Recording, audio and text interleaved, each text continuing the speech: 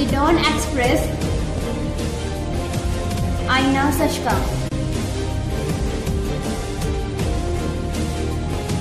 नमस्ते the don Express में आप सबको स्वागत है। आज अंतरराष्ट्रीय नर्सिंग दिवस है।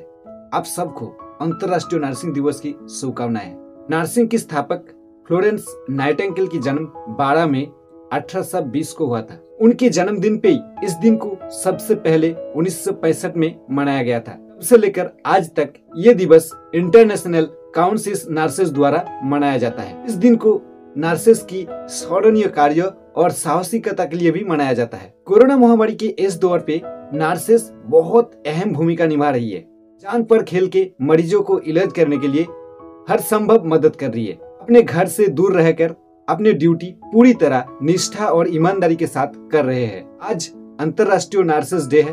तो आज के दिन उन लोगों का इस सेवा को याद करना बहुत ज़रूरी है, क्योंकि बिना नर्सिंग स्टाफ के इस कोविड 19 की लड़ाई को लड़ना नामुमकिन है। साथ ये मनोवैज्ञानिक रूप से मज़बूत करने की काम भी करते हैं। इधर सोमवार को प्रधानमंत्री नरेंद्र मोदी जी ने सभी राज्यों के मुख्यमंत्रियों के साथ और सभी केंद्र शासित प्रदेशों की शासकों के साथ वीडियो कॉन्फ्रेंसिंग के द्वारा दोपहर तीन बजे से लेके रात की दस बजे तक लगभग सवा छह घंटा बात करी, जिसमें उन्होंने सबको बोलने का मौका दिया और उधर लॉकडाउन की समीक्षा किया गया।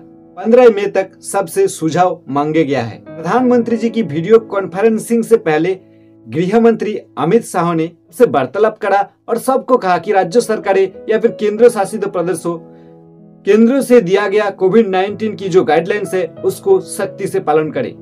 पीएम मोदी ने वही बात को दोहराया है कि दो गज की दूरी बनाए रखना बहुत ज़रूरी है। वीडियो कॉन्फ्रेंस में पश्चिम बंगाल की मुख्यमंत्री ममता बनर्जी ने कहा, लॉकडाउन के फैसले पर अधिकार राज्यों को मिलना चाहिए, संघ ढांचे की सम्मान होना चाहिए। साथ ही उन्होंने कहा कि सरकार लॉकडाउन की योजना जो है, उसको सही ढंग से बनाया नहीं पाया है, और यहाँ पे भी राजनीति कर रही है, और वो कई जगह बेवफा भी कर रही है। अन्य पाँच राज्यों ने लॉकडाउन को 17 मई के बाद बढ़ाने की मांग की है।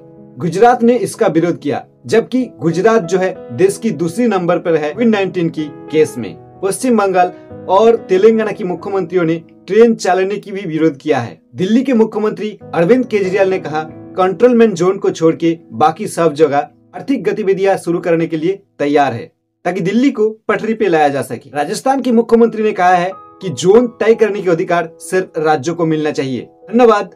द डॉन एक्सप्रेस सौहार डेली होम, डेली हंट।